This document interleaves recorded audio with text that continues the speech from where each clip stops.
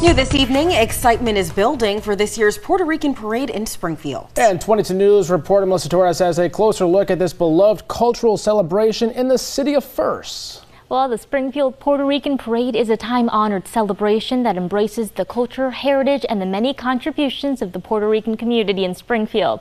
This year's theme, Nunca Olvida tus raíces, emphasizes cultural preservation, social justice, education, and community empowerment.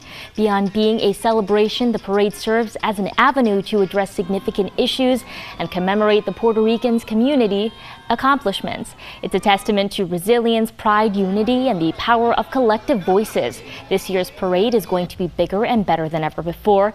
Vice Chair of the parade, Sasha Vian, says that the anticipation is brewing for this lively celebration. We are uh, collaborating with MGM and Salsa Salpa Fuera and really just um, reviving and revamping kind of what has always existed. Just, you know, come to have fun, come to eat some food. Um, there'll be some vendors along the route. And uh, we, we're super excited. We can't wait to see everybody.